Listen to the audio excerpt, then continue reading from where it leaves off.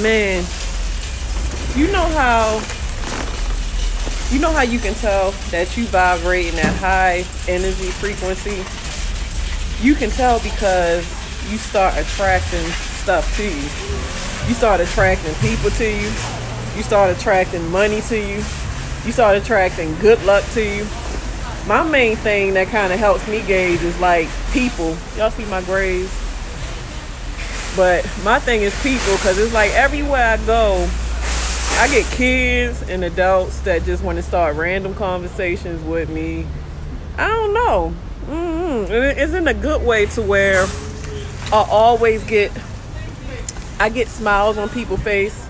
Like I can go into like talk to somebody and they like I can approach them when they mug broke down like either they ready to whoop somebody ass or they ready to fucking cry their eyes out. But after you know, either I talk to them or just, you know, have an interaction with them, that frown will turn into a smile. So I just realized that when you know you on the right path and you got that that like high vibration frequency, you definitely become like a magnet. You become like a magnet with money, people.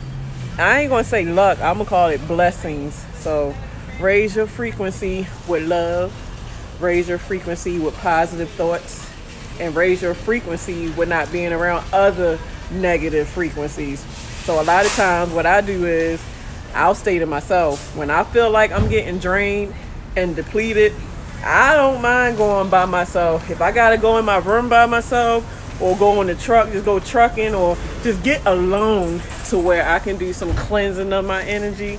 I'll do some cleansing before I can come back out and be around people and recently I just found out that is a heavy empath person.